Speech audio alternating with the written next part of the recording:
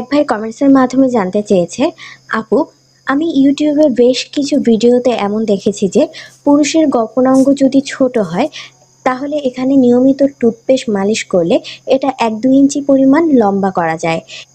এই কথাটা কতটুকু সত্যি কিংবা এর বৈজ্ঞানিক কোনো ভিত্তি রয়েছে কিনা দয়া করে জানাবেন।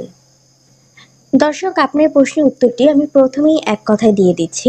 পুরুষের অঙ্গে টুথপেস্ট মালিশ করলে সেটা কিছুটা বড় হবে, এর কোনো বৈজ্ঞানিক ভিত্তি নেই।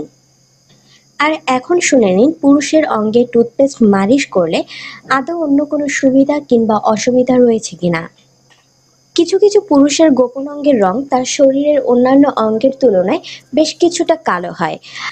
আর এই কালো অঙ্গে কেউ যদি টানা এক মাস টুথপেস্ট মালিশ করে, তাহলে এই অঙ্গের রং কিছুটা ফর্সা করা সম্ভব। আবার অনেক পুরুষ রয়েছে যাদের দুই রানের চিপায় এবং গোপন অঙ্গে বেশ ঘাম জমে থাকার কারণে বিশ্রী রকমের একটা দুর্গন্ধ সৃষ্টি হয়, যেটা স্ত্রীর সাথে করার সময় তাকে খুব অস্বস্তিতে ফেলে। আবার অনেক সময় নিজের কাছেও কিন্তু এটা খারাপ লাগে। গোপন অঙ্গের এই দুর্গন্ধ দূর করার জন্য কেউ যদি গোপন অঙ্গ টুথপেস্ট দ্বারা পরিষ্কার করে, তাহলে এই দুর্গন্ধ থেকে রেহাই পাওয়া সম্ভব।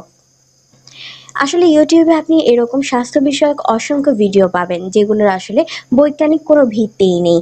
তাই না জেনে আপনার অঙ্গে এরকম আজে বাজে কোনো জিনিস প্রয়োগ করবেন না। আর টুথপেস্ট ব্যবহার করে আপনার অঙ্গ আপনি কিছুটা পরিষ্কার করতে পারেন কিংবা আপনার অঙ্কের দুর্গন্ধ দূর করতে পারেন। কিন্তু এই টুথপেস্ট ব্যবহার করে আপনার অঙ্গ তিন ইঞ্চি থেকে চার ইঞ্চি কিংবা পাঁচ ইঞ্চি বড় হয়ে যাবে, এটা আশা করবেন।